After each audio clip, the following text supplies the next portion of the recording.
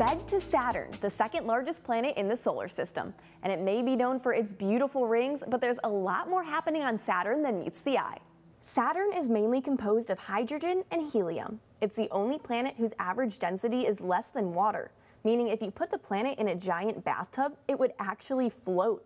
It has the second fastest winds in our solar system, taking only 10.7 hours to spin once around its axis and reaching up to 500 meters per second. For reference, hurricanes on Earth top out at 110 meters per second.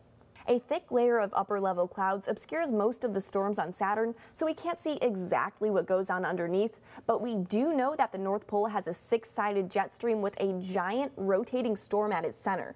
It's almost a perfect hexagon, the only storm in the solar system like this.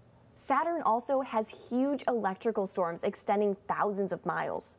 Lightning bolts on Saturn are over a thousand times stronger than those on Earth and create radio waves known as Saturn electrostatic discharge that makes this popping noise. And did you know Saturn's rings can actually influence its weather? When charged water droplets fall in the atmosphere, it actually has a cooling effect on those regions. And every 30 years or so, Saturn experiences long-lived storms similar to Jupiter's Great Red Spot sometimes called the Great White Oval. And another fun fact, Saturn's largest moon, Titan, is the only moon in the solar system to have its own atmosphere and weather.